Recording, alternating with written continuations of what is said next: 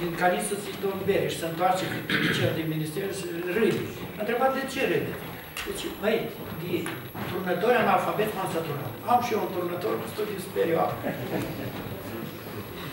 Filiale din Gura Morului, Orod de jos, Orod de sus, Cătăuții de Putna, Martina, Straja, Eslovăți, Gănicești, Grămești, au desfășurat activități închinate centenarul Unirii Basarabiei cu Patria Mamă, prin angrenarea la acestea, în special a cadrului și a elevilor din școli gimnaziale, licee și colegii. Ne pare rău că n-au venit și alții pe lângă noi. Am încheiat parteneriate pentru desfășurarea unor activități culturale deosebite. Așa menționăm parteneriatul cu Cenac Literal Minion, condus de poetul rădăuțean Constantin Georgescu, cenacul pe care l-am integrat în societatea noastră. La mâna se numește. Parteneriat cu școala gimnazială Măneuț, Asociația Învățătorilor George Tofan din fostul județ Rădăuț și școala gimnazială numărul 6 din municipiul Cernăuț pentru derularea unui proiect pe linie educativă și culturală. Protocol de colaborare transfrontalieră cu școala gimnazială Bogdan Bodă, Școala Populară de Artă și Civilizație Românească Ciprian Porumbescu din Cernăuț, în vederea realizării și dezvoltării de programe și proiecte comune specifice domeniului educațional, având drept scop îmbunătățirea și eficientizarea activităților extrașcolare și extracurriculare, protocol încheiat pentru un an de zile. În cadrul acestui protocol am intermediat livrarea de către școală, deci școala Bogdan Vodă prin intermediul societății, a livrat un număr de 5.000 de volume de literatură română, din care domnul Levcic, Iuri Levcic, a ridicat deja prima mie. Absolut în toate celelalte filiale ale noastre s-au desfășurat activități multe și foarte interesante, după cum au oglindit cotidianele și heptodamare. Cred că Iașul ce-a făcut, o, o relatat în ziar și a ocupat câte o pagină, fiecare relatare. Felicitări, domnul profesor. Se cunoaște cam foarte Capitolul 5. Evocarea unor personalități bucovinene în filiale noastre. Una din preocupările de căpetenie a fost aceea de a populariza personalitățile bucovinene care au activat în cadrul societății de-a lungul existenței sale de peste 150 de ani. Dar anul acesta a trebuit să prezentăm publicului larg și nu numai, și personalitățile din toată țara care au militat și au înfăptuit unirea la 27 martie Basarabia, 28 noiembrie Bucovina și 1 decembrie s-a înfăptuit Marea Unire. Pentru aceasta ne-am sfătuit în cadrul Consiliului Director, am stabilit un număr de asemenea personalități și le-am recomandat filialelor din teritoriu. Dar conducerea acestor filiale aveau latitudinea de a le omagea pe acelea sau pe altele.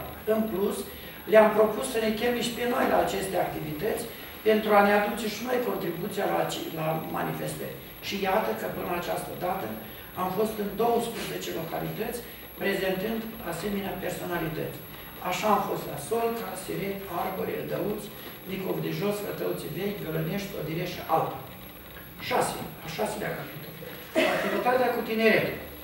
Cred că la acest capitol este cazul să amintim despre colaborarea pe care am avut-o cu Școala Populară de Artă și Civilizație Românească Ciprian Porumbescu, unică instituție de acest gen din Ucraina, care funcționează sub auspiciile Centrului Bucovinean de Artă pe principii de voluntariat și are ca scop educarea culturală națională a copilor știlor români din toată regiunea Cernăuți, în vederea abordării și promovării valorilor autentice ale neamului românesc, a tradițiilor culturale și spirituale, a cunoașterii și promovării limbii și civilizației românești. Din păcate, la această dată școala se află în dificultate, fiind obligată de autorități să renunțe la localul în care funcționa. Întrucât alt local pus la dispoziție era nefuncțional, a început o muncă decisiv din partea colectivului școlii.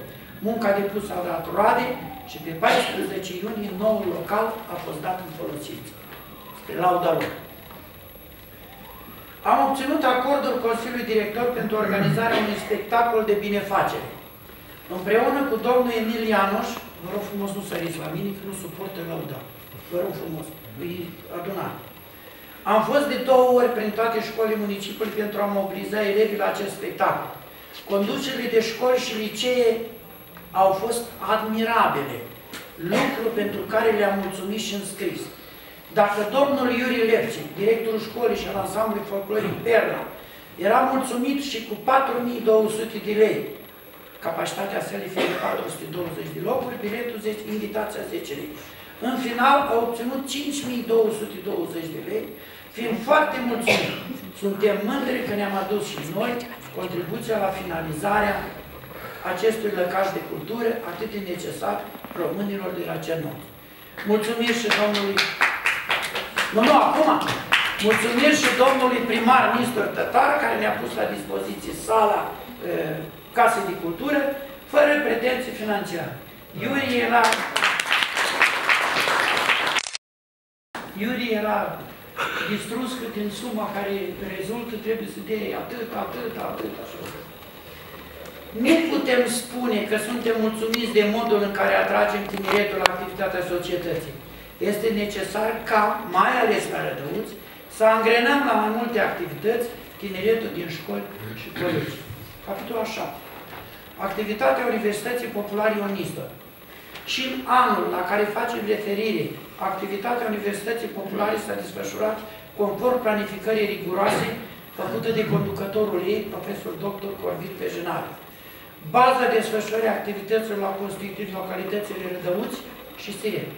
La Siret și la Rădăuți a primit un sprijin eficient din partea filialelor respective, mai ales la Rădăuți, și din partea conducerii și cadrul didacției din Colegiul Național Iosot Sormuzache. Aici s-a reușit și angrenarea elevilor în organizarea unor concursuri în concordanță cu tematica fixată inițial. Capitolul 8. Biblioteca Societății. Fondul bibliotecar n-a suferit în această perioadă nicio modificare. Nici nu au fost date cărți din bibliotecă, nici nu s-au primit donații. Deci raportul financiar al bibliotecii este același ca anul trecut. Și o spun și în plen, am apelat la cei care au scris cărți să doneze măcar câte una. Dacă nu, câte cinci exemplare de fiecare. Să mai în fondul bibliotecii. Menționăm faptul că sunt cereri pentru împrumuturi de carte din fondul nostru de aur, fondul cu cesti. Dar noi recomandăm ca acest împrumut se facă numai prin notariat, pentru că se întâmplă fel de fel de situații. E drept, fondul de carte, chiar cel de aur, trebuie să fie pus la dispoziția publicului doritor, dar, cum noi nu avem un bibliotecar, nu putem face acest lucru și este bine să facă altcineva care dorește. Avem un stoc de reviste încă din anul tipărit încă în 1865. Un fond destul de sărac în monografii, monografii ale localităților din zona noastră, dar și fondul nostru de aur Bucevschiu cu care ne mândrim. Capitolul 9 activitate editorială. Hai de mine, este și în perioada raportată, activitatea editorială a societății noastre a fost foarte rodnică. Au apărut foarte multe cărți pe diferite teme, mai ales pe problemele bucovinei noastre despre ținuturile sau despre oamenii ei. Cenacrul literar minion, început tineretul. A tipărit cartea Transplant de emoții cu poezii de ale tinerilor Irina Ingiovski, Daria Colibaba, Denisa Maftei și Beatrice Vieru. Sper să nu fi greșit vreun nume. Erau elevi de liceu.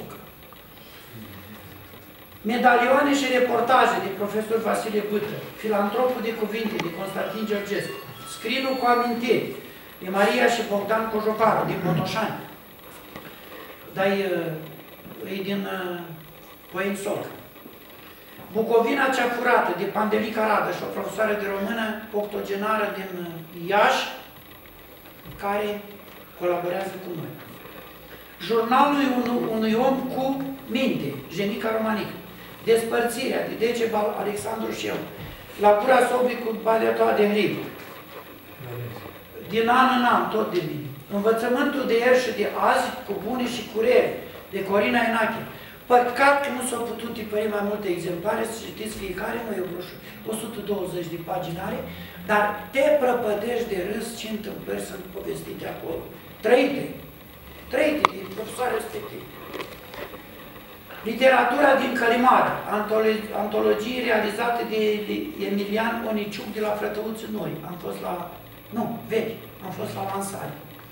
Zâmbete din Bucovina, de Simion Tudurea, albumul de artă, Filon Lucău și Elena Alina Androvici. N-au venit. Eugen Drăguțescu, omul, artistul în scrisori, Iosifit. Mărturit peste timp, Gheorghe Aga Dornești. Parohia Bucșoaia în istoria Bucovinii, Ion Netea și Pavel Goraș. Pojorâta Bucovinii, file de istorie, Viorica Cernăuțean. Distinse personalități din Comuna Dolăiești, Valeriu Sandovici. Vitrine cu suflete și nuduri, de Traian Rei. Raiu și Iadu, antologie de epigramă. Vă dați seama cine a scris. Bunici și, ne, bunici și nepoți, poezii pentru copii de Emilianuș. Iulian Vesper, antologia prozei de Emilianuș. Adevăruri ale științelor naturii în opera lui Mihai Eminescu, Petru Dejinar. Fiți atent când intrăm într-o nouă etapă, domnul director. Hai, scrieți. Dacă n-am prins